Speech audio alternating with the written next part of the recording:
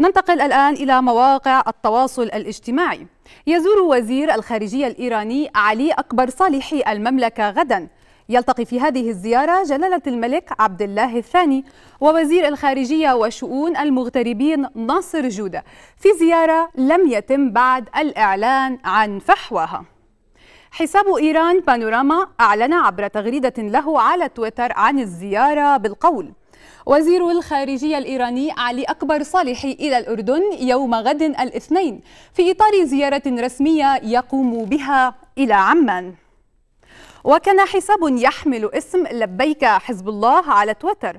قد ذكر خبر يوم أمس عن الزيارة المرتقبة للوزير صالحي واللقاء المشترك مع جلالة الملك عبد الله الثاني حيث جاء في التغريدة المنسوبة لقناة الميادين التلفزيونية اللبنانية.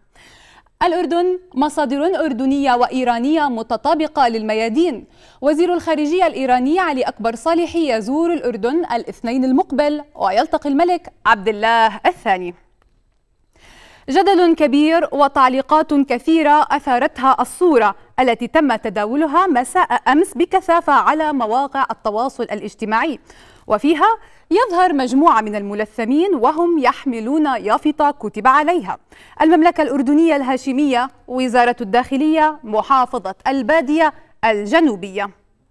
هديل عبد العزيز غردت مستخدمة هاشتاج محافظة البادية الجنوبية. قائلة إذا الانفصال عن معان فقط بسيطة منيح ما أعلنوا الاستقلال.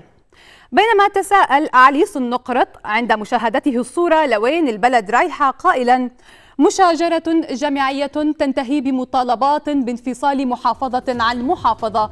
لوين رايحة يا بلد؟ يذكر أن هذه اليافطة تأتي بعد عودة الهدوء تدريجيا إلى معان. بعد أحداث المشاجرة الجامعية التي راح ضحيتها أربعة أشخاص منهم طفل في الخامسة عشر من عمره.